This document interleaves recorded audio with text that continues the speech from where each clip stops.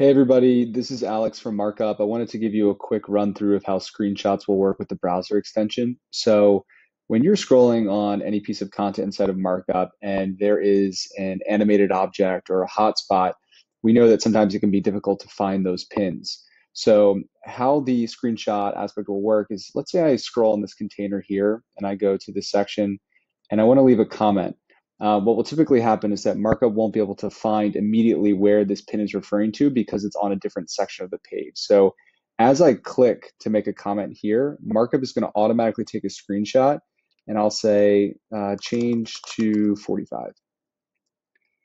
Now when I do that, if I go back to browse mode, go back to the original section of this container and I go back here, you'll see that if somebody's reviewing this piece of content, they won't know what exactly this is referring to. This is the first part of the page that they see. Now all I need to do is click on this screenshot here, which is automatically taken by markup.